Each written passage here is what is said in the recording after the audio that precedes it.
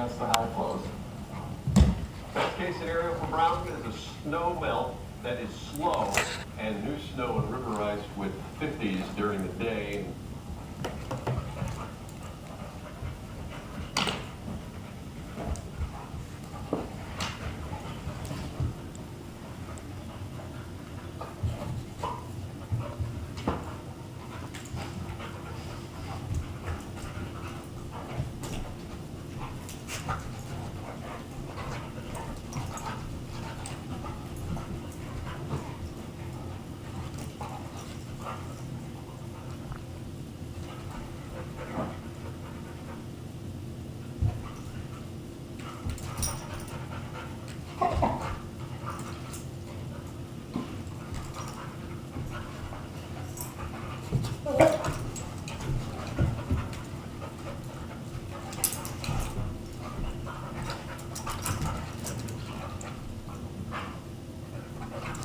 Thank you.